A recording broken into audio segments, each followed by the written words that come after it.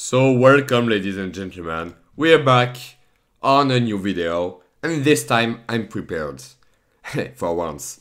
So let's dive right into it. We'll talk, we will talk about um, parametrics equation.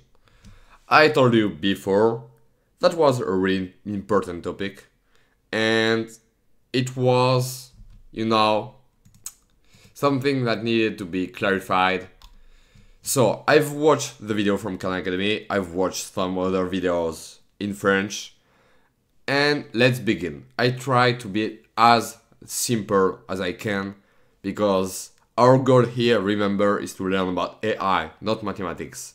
But we need some basics, some fundamentals of mathematics before diving into AI. So, first, we can draw straight lines on any system of coordinates. Uh, it can be in two dimensions or three, three dimensions. It could be always useful for many reasons. Maybe you want to, maybe there's a function. Maybe you want to represent any points uh, equal to one, or I don't know. You you always need some straight lines in mathematics. What can we do? We can either plot a straight line or plot a vector plus an origin. Why?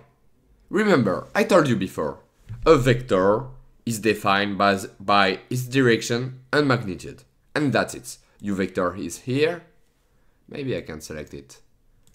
Your vector is here, but you can plot it there, for example. Or anywhere in fact you can put it anywhere because there is no origin. But what happens if you add an origin to your vector? Your vector is stuck. Remember your vector is stuck in direction your vector is stuck in length. So if you add an origin your vector is no there's a non-core is stuck in every way so it can't move any anymore that's what is really interesting. Now let's pretend you want to get a straight line based on this vector. It can be really, really useful. You, you, you have a vector, maybe, maybe you threw a, a bullet, a bullet from a gun, and you want to see where it will, it will be going. You want, you plot a straight line. I should change my, my examples at some point. and you want to know, here you're going to hit somebody at this point.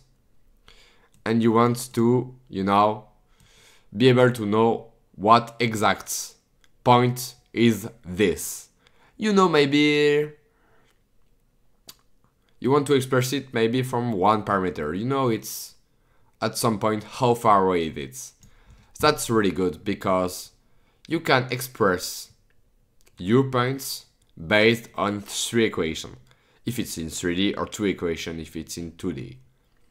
Let's say it's in 3D. You have for any points a calculus, which is very easy. So your calculus is in the direction of a vector.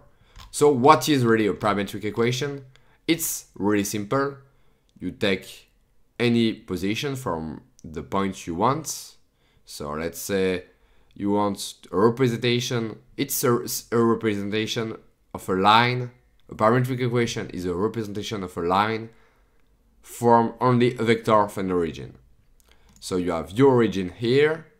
You have your value of vector here. Let's say I had my origin here, which is represented here, and my vectors here, which was 214 which is represented here. And thanks to that, you can plot a line with those three functions. Maybe we could go to, you can go to GeoGebra or something else to plot those three functions in 3D. Let's plot uh, in 2D, maybe only in 2D. And you will get a line with those functions. And how did you get the lines? With the line with your vector and origin. So a parametric equation, you start to understand it can be really useful.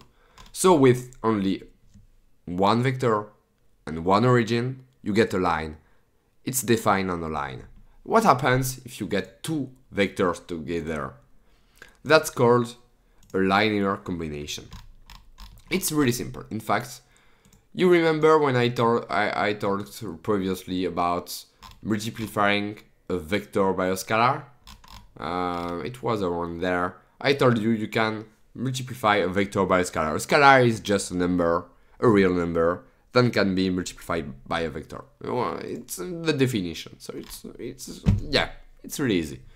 So let's say you multiply, oh, it's not a real number, is it? Is it? It is, it is. So let's say you want, you have two vectors, v and u. Those two vectors are really random. I took basic, basic vectors. And you can multiply this one by 2 or this one by minus 3 and add it to u. And this one also you can multiply by 1, by 2, by 3, whatever. What do we get from the results. Yeah, we get another random, totally random vector. Is it really useful? Yeah. Do you trust me if I told you that those two vectors, they can draw any other vector? Let me repeat. It's really impressive. A simple two-dimensional vector combined to another can draw the entire vectors in two dimensions.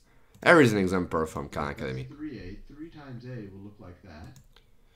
He has the vector a, 3 times a is there, so it's the same but bigger. You can also plot b, but minus 4 or minus 6b, minus 2b here. So you have a there, you have b there, but A can also you can combine the two. So you can do let's say you can combine 3A 2 minus 2B and you get this one. You can combine everything together. In fact, let me add subtitles. Uh, not in German, maybe. Why in German? I don't understand. There's so many spaces. But you can also plot this one, 3, 0. How did you do it? It's really easy. 3a plus minus 2b in this example. But you get it, you get the idea. You can plot anything you want. Because you've got with two random vectors, which are not null, you can plot, let's say you have your vector 1, 0 and 0, 1, which is a system of coordinates. I will go into it later or maybe, I, I don't care, any vectors. You can go as much, as far away as you want on the right side. If it's if your vector is, as in the example 1 and 2, if you want to go 5 to the right, you can do 5a, and you will be in the good position. And if you want go 5 to the left, minus 5, 5a. If you want to go to the top, maybe 10 to the top, you can do 5a, will go 10 to the top but you know, you get it. From only one vector, two vectors, you can create a combination and go as much as further you go to the right, to the left, to the top, and to the bottom. Because you can do one, two, three, four, five. So you can, yeah, indoors it, you can do anything you want and get a combination. There's another thing. You can also draw a line if the two vectors are, are collinear and at the same origin or an origin of the, on the same line. So you can draw a line I, as it was the same thing in the parametric equation, but here you can have this in, with two vectors also, or you can draw nothing. That's it. So, let's say you want to know the span we use the parametric equation here to know what the line was. But here we, we, we, we can draw more than a line. We can draw with two vectors the entire real numbers. All the, the real vectors can be drawn. So, all the two dimensions vector can be drawn. So, how to know it? Uh, it's it's not really similar. Here, you can do a combination. Let's say it's 2 plus 1.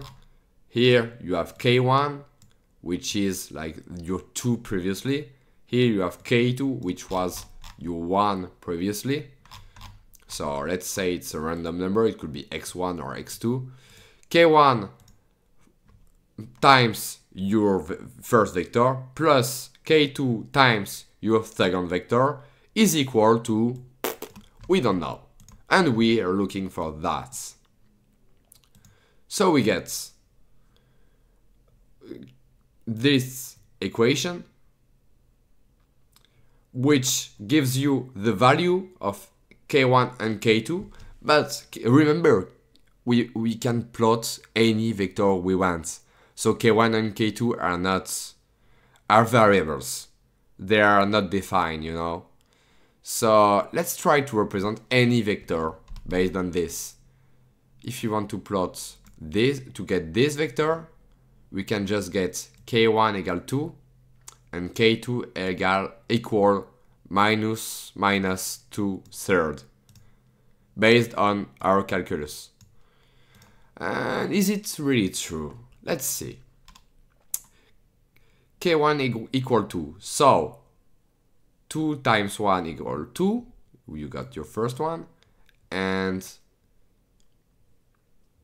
2 times 2 equal 4. Okay, we got 2 and 4. Then k2 times 0 equals 0, so we got r2 confirmed, it's okay. And the second one is minus 2, 2 third. So we had 4 here, minus 2 third times 3, which is 2. So we get um, 4 minus 2, which is equal to 2. So it's okay. We got, we proved the correlation. I will write it for you, maybe, if you want. But it was very easy to prove. We had 2 times for K1, 1 and 2. And minus 2 thirds times 0, 3. And remember, it was an equation based on 2 and 2. So we, we replaced the x and the y in our, in our parameters. We were really easy to, found, to find. And we get 2, 4 minus 0 and 3 times 3, 2, which is equal to 2, 2. So it's proved. But you know, these two vectors can draw anything. It's really important because that's the basic of a coordinate system. A coordinate system, it's just two vectors. Let's say the vectors i and j they're just two vectors. They are just two vectors. And we as we can represent a vector based on another, that's why they are really important. Because thanks to that, we can draw anything we want into this system. We can fit anything. So I guess it's all for today. I'm maybe I wasn't really clear, but don't worry, it's just a video Soon I will make a recap when I ended in all those series of video. I'm also learning with you because I'm trying to remember things. And once it's over, I will put that into text and create maybe a beautiful PDF for you to understand. So that's it for today, folks, and see you soon. Bye.